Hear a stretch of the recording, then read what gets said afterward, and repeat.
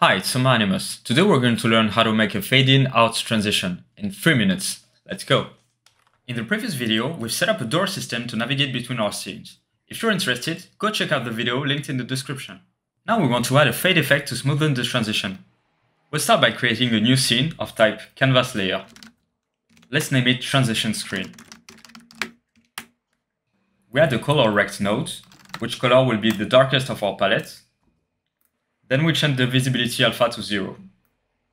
We set the position of the color rect so it fills all the space in our canvas. Then we can add our animation player.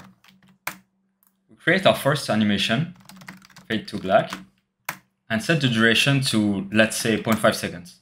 After selecting the first frame of our animation, click color rect, then the key next to modulate to link the modulate property to our animation. Then after selecting the last frame, put modulate alpha to the maximum value, and click the key again. We can then click play to ensure that the animation is played properly.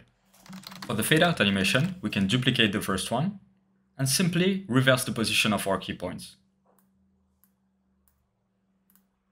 Now that our transition screen is ready, we need to create a script for it in order to call the different animation. First, we'll add the references to our color rect and animation player nodes.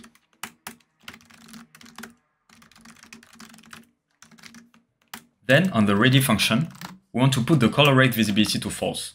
This will prevent the transition screen from taking the focus when we want, for instance, to click on a button. We create a function to trigger the fade transition from anywhere in our projects.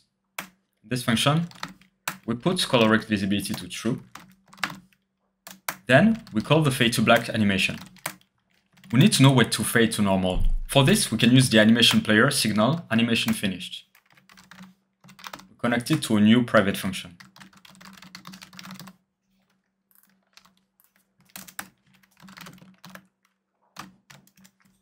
On animation finished, we can check the name of the animation that has just finished. If it's fade to black, we want to play the fade to normal animation. If it's fade to normal, we want to hide our color rect. Now let's create a custom signal that will emit when our fade-in transition has finished.